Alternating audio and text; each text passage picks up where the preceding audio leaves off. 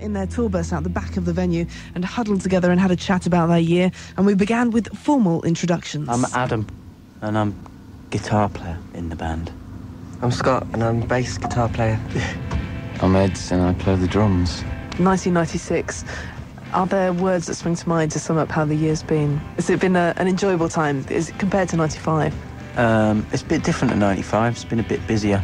The last few, few last couple of months has been all right because we've been away writing and demoing and all that. Because last year we did the album, but this year we're all over the place. So have you lived mainly off this bus? Is this this has been your home? Uh, not this bus, but this and and many others. We did Europe and we did six, seven weeks. That was horrible. Does that have an effect on the rest of the band? I mean, do you all kind of row and fall out, or do you just kind of go very Mm, private? We don't, we don't row and fall out. It just gets a bit edgy towards the end, though. doesn't it? It's just it's just not a healthy environment, really. What do you do if you really want some privacy? You just go in your bunk and draw the curtains and... Yeah. Or get off.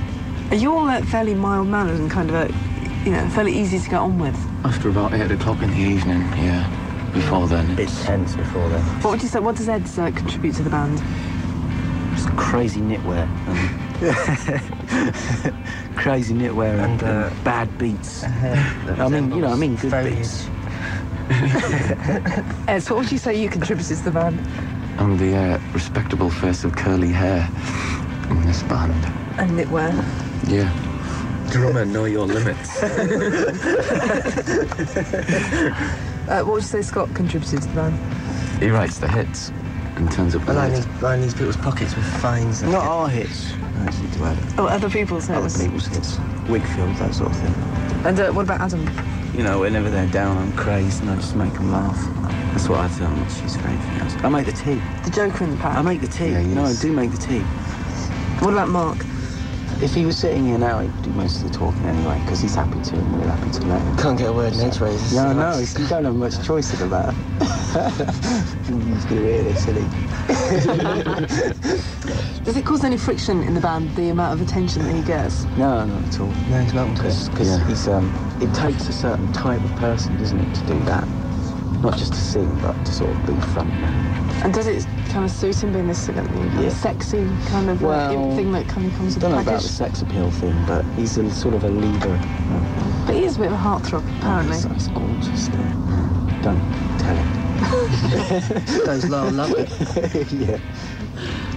What are you looking forward to in 1997? What are you planning? What actually happens to Well, we got to in make uh, an 97? album, so that's a big thing. Are you looking forward to that? Yeah, we've got to make one and, and really release it as well.